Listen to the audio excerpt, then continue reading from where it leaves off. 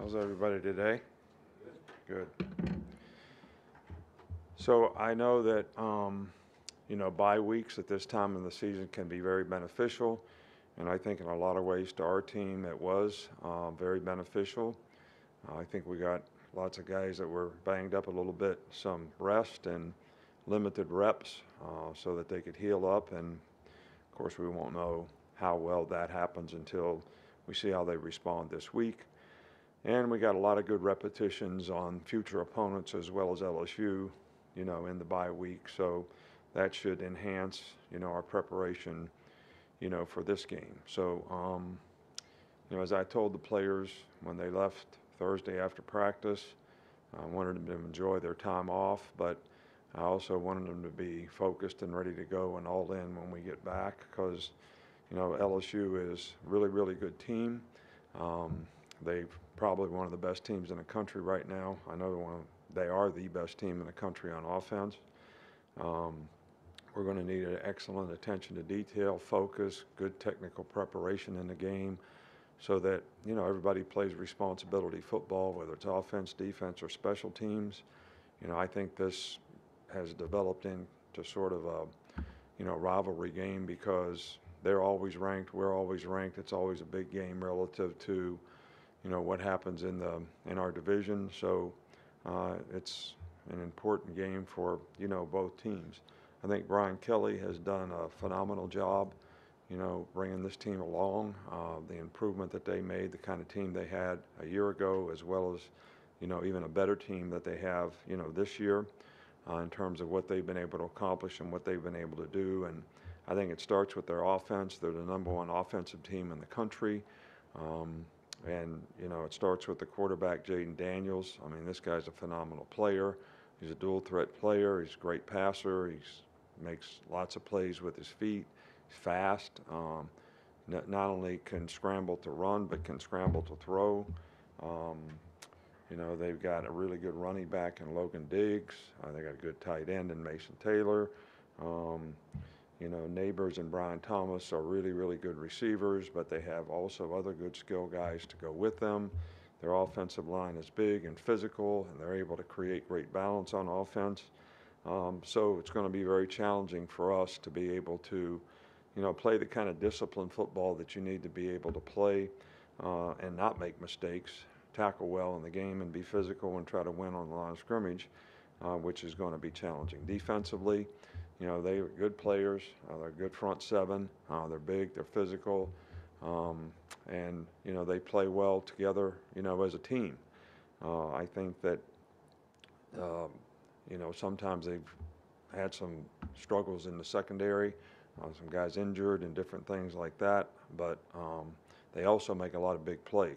Um, they can rush. Uh, they affect the quarterback and they can cover. So um, this is going to be a challenge game for us from that standpoint too. And these guys have a lot of good athletes and a lot really good team speed, so that makes them really good on special teams. They have good specialists, so this is a really, really good team all the way around. Start up front here with Nick. Yeah, you talked about Jayden Daniels. You saw him a year ago. What are the biggest differences you see in his game or improvements you see in his game from a year ago, if any? Well, he killed us last year, so I mean, guys was a really, really good player last year. He's a really, really good player now. Uh, I think, you know, overall, um, you know, they execute their offenses, you know, to perfection. Uh, and it starts with him because he makes the right reads uh, relative to runs and passes and, um, you know, zone option plays and pass down plays. He's very good at reading coverages, makes really quick decisions. Um, so uh, all those things were evident last year, I think, by the way he played, and I think he's probably even better, you know, now because he has even more experience and knowledge in the offense, and they've got really good players around middle. Yeah, on Daniels again, I think he had 95 rushing yards last year. You know, and a lot of it it looked like came on quarterback draws. How much emphasis is on that this year? Um, well, actually, you know, he made a couple plays on quarterback draws, but some of them weren't designed quarterback draws. You know, two of his long runs in the game in critical situations, you know, came on bust up front in terms of gap control, and he just saw it and took off running. So it looked like a quarterback draw, but I don't really think it was a design quarterback draw. They do have design quarterback draws. Um, you know, it was a zone option play that he scored on us in overtime, 25-yard run. Uh, another mistake that we made in run support uh, and adjusting the motion. So those are the kind of things that you cannot afford to make those kind of mistakes.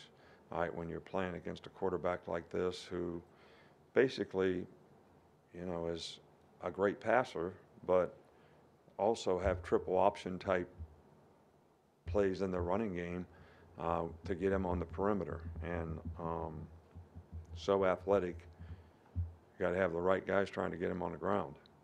Go to Charlie.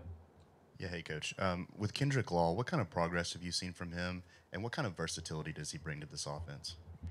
Uh, you know, K Law is um, really a great competitor, really tough, physical guy.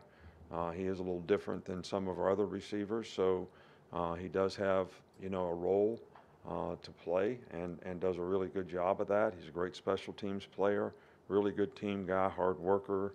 Um, so, um, and I think, you, know, we'll try to always have roles for him to play in the game uh, that benefit his skill set and complement the other guys that we have in the game.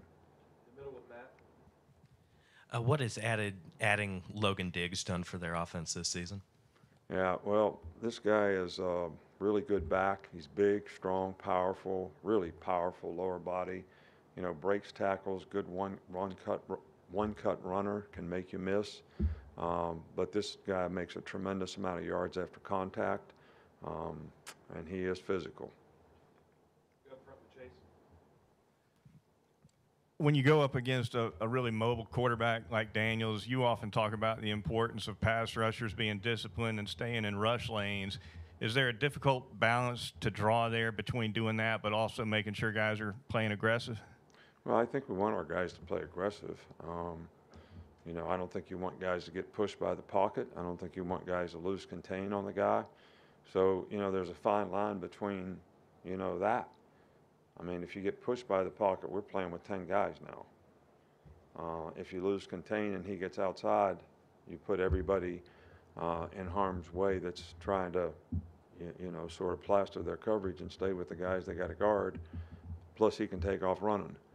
So, um, I guess there's a fine line between that. We've ever, we've never ever told guys to, to rush in their pass lanes, but be cautious. Never ever even thought of that. So we're, we're not coaching that. Go to Ryan. Coach, clearly it's a big game on Saturday, big day on Saturday, but tomorrow's a big day as well. Your birthday. Do you want anything for your birthday? What are you doing? Anything different? You're just locked into the game. No, I mean, it's, uh, game's the most important thing. That would be an outstanding birthday present if we could play well in this game. And so that's what I'm focused on, and that's what, you know, we're really, you know, trying to do. Um, you know, when your birthday and holidays come up in football season, they're really not holidays and they're really not birthdays. You get older, but you don't really celebrate much. We'll go to Tony on the far left. I've got kind of two. What have you seen from your own coverage unit? And then what are the challenges of facing LSU's deep passing game, and how do you guys think you combat to that? Well, I, I think there's lots of challenges. You know, you, you got to read, run, pass, um, and they got a good play action game. They'll seven man protect and throw vertical routes. They've probably made more explosive plays running and passing than, you know, any team we played in recent times. So, um, you know, you got to guard them, you got to keep them cut off, um, and you got to be disciplined in your eye control so that you have the best opportunity to do that.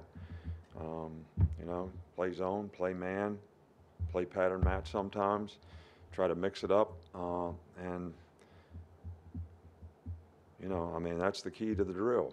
Uh, if you let guys get behind you, you don't p- get people cut off. You're probably going to give up big plays because they got a good thrower uh, and guys that can go up and get the ball.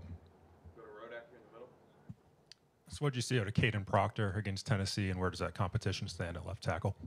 Yeah, well, you know, Kadyn Proctor's getting better, uh, and I think he's uh, learning from, you know, and gaining experience and learning. Um, what we want him to do is, you know, not worry so much about making a mistake that Uh, he's not playing aggressively, and that's what we've been working on with him. And you know, uh, I think he's getting better and he's getting more confident. And I thought he played, you know, fairly well. Uh, he had a play or two that I'm sure he'd tell you, and I'd tell you, and his coach would tell you that, um, you know, we didn't execute exactly correctly, but those plays are getting fewer and fewer, and the good plays are getting greater and greater.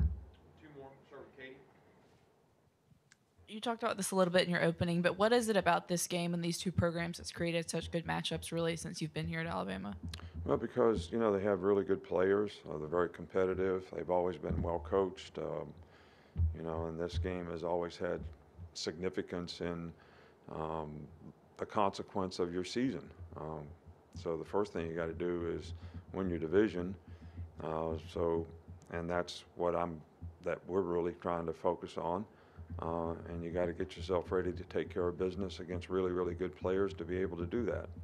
So, um, and that, that's why I think both these teams been ranked since 2007 or something, you know, in the top 20. So, um, and I don't know how many of the games we played with them in the last however many 15 years or whatever that don't have some consequence to uh, what kind of season you have. We'll finish up right back there. Coach, happy early birthday. You've seen many bye weeks and the results of them on the following Saturday. What is a marker to you of productive time off leading up to the game? Well, I, I think that, um, you know, you want your players, as I alluded to before, to enjoy their time off, but you also want them to be focused and ready to go when they come back. So there's a balance in all that. You know, you can't dissipate and go not eat right and do the right things while you're off. You can still enjoy yourself, uh, but you also can stay focused on um, what you need to do when you come back. And I think that's combination and balance and all that. You know, balance in life is important in about everything that you do. So um, that kind of balance can create very positive results for you when you come back and you're you're ready to go. If you didn't think about your job, what your responsibility is, one minute for three days, you're probably not going to benefit very much from the time you had off. All right. Thanks, Coach. All right, thank you.